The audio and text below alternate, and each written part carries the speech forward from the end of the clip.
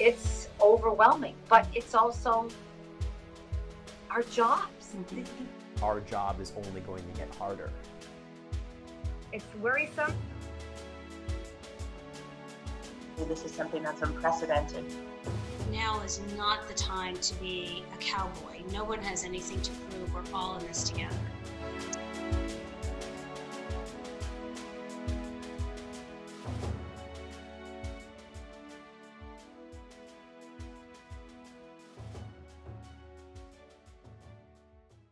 Welcome to Reporting from the Front Lines of a Pandemic. I'm Kayla Martin, and joining me is Steve Brown, WBUR's State House reporter. Thanks, Steve, for joining me. Well, thank you for asking me, Kayla. Of course. Uh, so, my first question would be How has your work had to adapt recently? Well, it's kind of funny because for me, I'm based out of the State House and so I work remotely all the time. The, the State House office is a remote office. So I connect to the newsroom uh, via, you know, email, Trent, uh, uh not, I'm sorry, uh, email Slack, uh, and um, I have a, a, internet connection with a microphone. So I dial it up, and it's via the internet that it sounds like I'm right in the studio, but I'm really at, at the State House. So for me, it hasn't changed a whole lot. Uh, what is strange is I've always dealt with people who have been at the station. Now we've only got bare bones at the station. There's only one person in the newscast unit, physically in the newscast unit.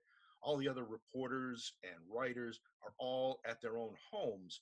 So it's, like I say, it was kind of strange for me because I'm just assuming when I'm connecting via Slack or email or messaging or anything like that, that okay everybody's back in the station but they're not. They're they're scattered all over the boston area. With that position of you know you're used to being in your home used to doing your work from home and now you're doing this work with people that aren't used to being from home right. what's it like in that transition period to work with people that are adjusting to this new way of working? Yeah it's uh it, it's a challenge. Again i think a lot of people have, have looked to me because i do primarily work remotely uh, that they look to me as like, well, how do you do it? So I'll you know offer tips and and what have you to to get them get them through it. Uh, it is definitely an, adjustment, but I think uh, at least speaking for WBUR or of my colleagues, everybody seems to be doing a fabulous job making that transition and still getting the story. Eh, we we I think, get under a, a false impression that, oh, well, we got to be there in the newsroom to get the story. And that's not necessarily the case. You, your newsroom can be anywhere. I can, I can convert my car into a newsroom and into a studio with just the equipment that I, I carry around with me. And um, you know, anybody once you start learning some of that that equipment and, and learning those applications, uh, anyone can do it. And we're finding that uh, you know the need to be physically all in one place doesn't necessarily have to be the case for sure um, and so what's kind of been um, your job recently. I mean, it, um, it's all about coronavirus coverage, but how do you do that with um, like the state house perspective in that lens? Sure. Um, I, have been, as I say, going into the state house. One of the uh, things is I'm actually loving my commute now. I live about 35 miles away from Boston, and so if I were commuting regularly during you know rush hour if I were to drive, and I don't always drive, I, I will take a drive a little bit and then I'll take the T in. Uh, my commute, if I'm driving, it's about an hour and a half from my house to the state house. Uh, lots of traffic, you know, stuck on the expressway, crawling up. Uh, now it's 45 minutes. There's no traffic out there, so there's there's a, a big difference of that. So what I've been doing is I've been primarily covering the governor's uh, daily briefing which originally it started off. He has a, a there's a the governor has access to a media briefing room down on the first floor of the state house. It's a pretty good size room, but earlier this week they moved it out of there and they moved it into Gardner Auditorium, which is a 600 seat auditorium in the state house. Uh, I'm sure many uh, Emerson students who've gone up there to cover things have probably covered something in Gardner Auditorium. Uh, so now uh, we're, we're there. So I go in for the daily briefing. Uh, I I record it there in in the room, and I also feed it back on a Comrex, which is a piece of equipment that uh, actually I'll bring here. I can show it to you if I pull it out. I'll keep talking while I'm I'm pulling it out. Uh, it's it's a an interface that uh, connects. There's a couple of things I have to attach to it. Uh, that ba- basically it's it, it's a attaches to a, a cell phone, not a cell phone like you or I would know, or a smartphone or anything. Is actually there's a little dongle there that's uh, Bluetooth that connects with a um, Wi-Fi or MiFi thing that connects to a, a, a, cellular system. So I'll feed back the governor's uh, news conference or briefing via that. Also roll on it, and I am in the room and I'm asking questions. Sometimes they're my own questions that I come up with as he's talking. Sometimes I'll go in with an idea of, gee, I want to ask him this. And a lot of times, because we've got so many different reporters working on so many different angles of this story, they'll funnel me questions. Hey, ask the governor this. If you can't, ask the governor that. So it it information that I may not be directly working on, but my colleagues are. So they want to find out what the governor's saying about that. So you know, again, I try to.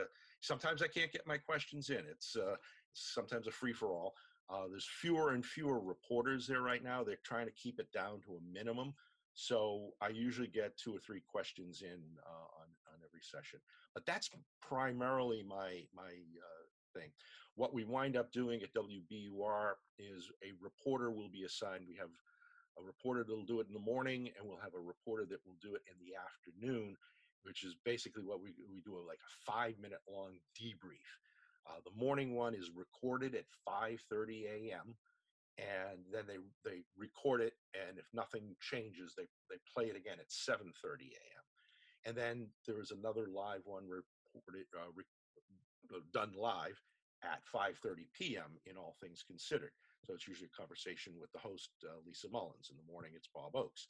So um, I've done a number of those. As a matter of fact, Tuesday was a very long day for me because of what was going on. I wound up doing the 5:30 a.m. briefing, and I also wound up doing the 5:30 p.m. briefing. So there's 12 hours right there, plus all the prep time and everything going into it. It made for a long day. You know, it varies. Sometimes they'll have other reporters uh, doing that update. Uh, the the afternoon one will have the the daily numbers that come out. The DPH releases the numbers around four o'clock in the afternoon how many more cases of covid-19 there are how many deaths there are all that all that how many how many people have been tested so we report on that we report on the news what the governor might have said what the, the mayor might have said any other news related to that are included in those those debriefs that uh, happen at 5:30 a.m. recorded again played again at 7:30 a.m and then uh, again at 5:30 p.m. Wow. Yeah, and you were talking about that was that's a long day, 12 hours. Mm-hmm. Um so you also talked about the moving of different rooms into a 600 seat uh, more room. Um, and there's less amount of reporters that are going out but are there still uh, like a decent amount of like photogs or just like amount of people there? And like how are you doing like social distancing and that kind of aspect? Yeah they've they've limited that uh, up until probably a week week and a half ago and all the days one thing when you're covering something like this all the days just blend in one thing or another and you know, I, I was looking at stuff. Uh, it was like, well, when did that happen? It was only a, a, week ago, and it felt like a month and a half ago. It's it's crazy. But uh, what they've wound up doing is they now have a pool camera for the TVs. So they do it on a rotating basis. One of the TV stations goes in, sets up, does the shot, which is of the governor and of his uh, ASL interpreter. Uh, you know, so the governor's at the podium, the ASL interpreter is uh, six feet away from him, uh, either to his left or right, and and that's the shot, and they they stay on that shot, and and see. in the past leading up to it, maybe up to maybe a week and a half ago, it was every station sent their own cameras. So we were crowded into that press conference room, which is a big room, but still smaller than the than Gardner Auditorium. Uh, they've limited it now to one reporter per media outlet. In the past, sometimes the Globe would send, you know, three or four reporters up. The State House News Service would send in several reporters. TV stations might double up. They've now got it down to, to one per per outlet. Do you think something like this will last, like even after the virus is gone and we're able to go and report in person? Um, do you think they'll keep it as a feed, or do you think they'll lessen the amount of reporters that they send? Uh, they probably they'll have to they'll restrict uh, they'll ease the restrictions. I'm pretty sure. Uh, at least that's my guess. But the thing about this whole story is it's all uncharted territory. Nobody knows what's going to happen. I've I've covered various big stories. I, I got sent down to Sandy Hook after the shooting there. Uh, covered the marathon bombing, uh, 9/11 to a certain extent. I wasn't a field reporter at that time, but I did some of the the aftermath at, when I worked at Channel Four. Then uh, those stories they're big, but you know that normalcy is is just around the corner. This nobody knows. Is this going to last two weeks, four weeks, a month, three months? Nobody knows. And that's, and, and I don't think anybody has the answer. You know, you, you, would think, well, nobody knows. Well, a good journalist will go out there and will ask the important questions and will get that answer. And this is something that mm, no, nobody, nobody has that answer. Uh, and and that so that uncertainty makes it uh, kind of difficult for planning ahead. I was talking with uh, one of the one of the state troopers on the governor's uh, security detail, and he was saying, you know, people are never going to shake hands ever again. I don't know. Um, it was it was weird. Two weeks ago, I was out covering. It was like just you know the, the the story was just starting to percolate, but we were still covering other things. And I've been covering the cannabis beat for WBUR to a certain extent, and I got sent down to uh, Grove Hall down in Dorchester to cover the opening of the first uh, retail cannabis store in in the city within the city of Boston. So I went down and covered it, and I tend to when I'm when I'm interviewing someone, I go up to the, introduce some, myself to somebody. I shake their hand. I say, "Hi, I'm Steve Brown, WBUR. Nice to meet you." When I'm done, thank you, thank you, and, and, and all that. So I was doing it that day, and and uh, my, one of my colleagues, uh, Robin Lubbock, who's a photographer for WBUR, was down there. And afterwards, we were walking away. He says, "You kept shaking hands with everybody. There's a pandemic coming on, you know." And it was like, "Oh," and I didn't really give it a whole lot of thought at that point. And by the end of the week, it was like, oh yeah, I'm not gonna shake hands with anybody." And it was weird. Like the, the day after, I was here at, at home, and my next door neighbor's daughter's father-in-law, so here's going way up, uh, was helping them move something, and so I was out there, and and then you know, he you know went to shake hand. I I shook his hand. It was like, ooh, I don't know this. This is it's a different world now. Now, will we go back to our old, ways? I don't know. Nobody knows. And talking about businesses, like ones that are especially just opening, like. Mm-hmm yeah, I think you know the cannabis business will be okay. I think, but uh, you know, other things, other places, uh, they may not be able to survive. It's uh, you know, I remember covering the uh, there was a, a stock market crash that launched a little bit of a recession in the late 80s and a lot of businesses closed there but it was by no means as as broad and widespread as what's going on here for sure and when you were talking about, you know, like being out doing your job, being out on the street, shaking hands, talking to people, how do you keep yourself safe uh, when you're out there with everybody else? Sure. Well, right now I haven't been I haven't been interviewing people face to face. and and as a matter of fact, there's an edict now from management at WBUR if the reporter has got to conduct an interview face to face, they got to clear it with management first. We have to. I have to call my boss and say I'm gonna, you know, Kayla's gonna be here and I'm gonna gonna be doing an interview with her. And they're gonna ask, well, how are you gonna do it? Well, I'm gonna use the shotgun mic. I'm gonna stand the, you know, a, a good ways away, and things like that. I covered. We did that with. Uh, every Monday at the State House, uh, the governor meets with the legislative leaders. Not every Monday, but most Mondays. So we had a meeting this past Monday with the Speaker of the House and the Senate President. And uh, so afterwards, the Senate President and the Speaker of the House, the governor was available earlier in the day, so he didn't take part in the in the post meeting uh, scrum. And so they they had it. So we were behind velvet ropes that were probably eight to ten feet away from the Speaker and the Senate President. They were standing probably 12 feet apart from each other and I had to, you know, reach over as far as I could with my shotgun mic, and um, you know, the sound was okay, a little echoey. Uh, I've since ordered on Amazon a boom mic, you know, a fishpole, I guess you can call it, this collapsible one, so that once we get back to doing this again, I can still keep some distance. Um, but you know how we will do it, I, I don't know. I hate doing telephone interviews. I've always preferred doing face-to-face interviews.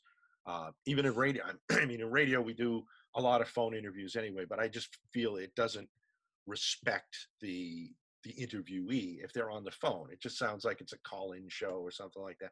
I would much rather hear them nice and clean and clear off of my kit, off of my microphone. Uh, we've relaxed that a whole lot more and I figured out how I can record something on on my computer off my phone. I had I had to figure that out. I'm sure most of the Emerson students all known that for three or four years. I've been I'm an old guy, so you know it's it's it's all new new to me. So I had to had to figure that out and do some, you know, use my wife's phone and call me, call myself and see if it would work and things like that. Um, We're all learning with you too, so don't worry, it's not just you. um, Zoom, what we're recording on right now, just learned how to use this last week. yep.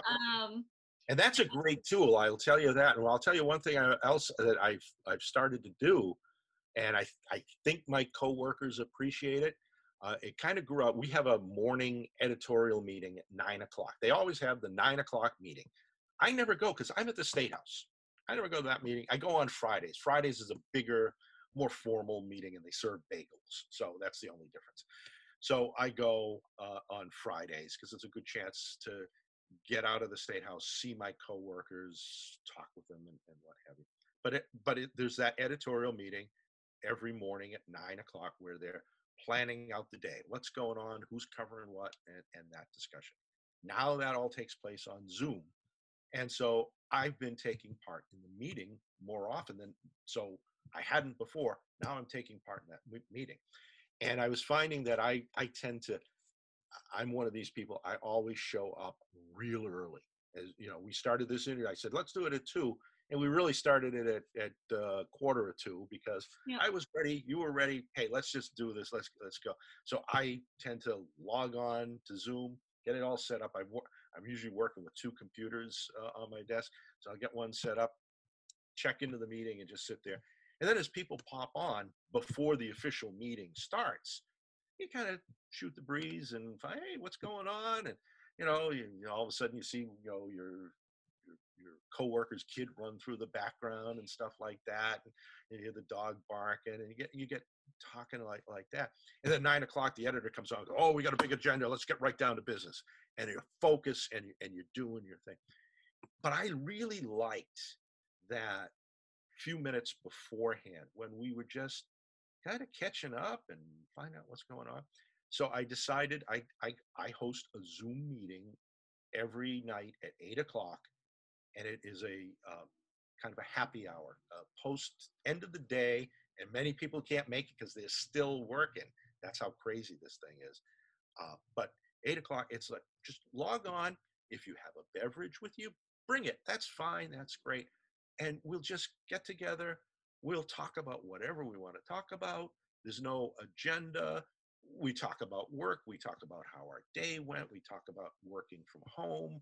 We, you know, uh, a couple of a couple of times every so often, certain uh, of my coworkers I know play music. They play the guitar. There's one one of uh, my colleagues just you played the guitar and sang, and it was just a moment where we could all just go, huh, this is kind of normal.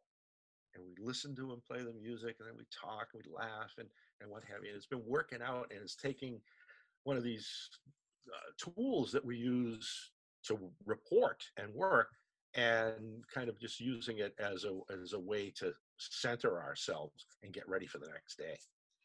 For sure. I think uh, we definitely took for granted actual like FaceTime one on one with like another person before this. Yeah. Um, and I think And I hated that, by the way. I I, I, I never liked face. People go, well, it's FaceTime. No, I don't. I'm not a big. I'm not a phone guy. Uh, I like meeting people in person. Um, I'm getting used to this, obviously. But you know, if my daughter was, oh, let's FaceTime. Mm, Nah, I, I know what you look like. I was talking with my friends just the other day, and we were talking about possibly having like a game night somehow on FaceTime. We're not quite sure the logistics of that, but we were going to try and discuss it and figure it out. So Right. there's definitely um, some positive things that have come out of this for sure. Yeah, uh, I, I'm definitely appreciating my coworkers much more. Uh, I am so pleased that I'm a small part in this organization that is absolutely phenomenal. And I knew it was good, um, but now I'm seeing how good it really is. That's great to hear. Um, having a good work environment is always critical to having good, productive work and uh, just like a happy lifestyle. Absolutely. It's been a crazy time um, for anybody, whether you're starting out as someone that's just graduating here in 2020 or you've been in the business for quite some time. What advice would you give to students that are just breaking into the business now? be open to anything try, you know try to cover whatever you can find uh, uh, you know all sorts of interests uh, uh, as you're as you're covering things. Find find out what you like covering and pursue that but but sample a little bit of everything. Uh, you got to be willing to work long hours. Um, you got to be you know when when you see an opening that you can get into um, you know covering some you know volunteer for that. Hey i'll go cover that. I'll do that. Um you know some you know sometimes they'll take take advantage of you your management will take advantage of you but if you're always there always answering the bell uh, that's going to prove you to be a valuable member of the team and that gets appreciated and you know as, as they make decisions down the road and everything if they know that you know you are so reliable you're always you're always paying attention you know, to what's going on um, that's that's a good thing. You got to you know within your own mind you got to be able to put up the walls going okay no i've got to i've got to have some me time right now. I can't do that. But you know on a big story like this i remember a couple of weeks ago it was a sunday afternoon my wife had put dinner in the oven. We were going to have a very nice dinner together and I found out that the governor was going to be holding a, uh, a briefing, and we sensed that it was going to be a big briefing uh, with some big news out of it.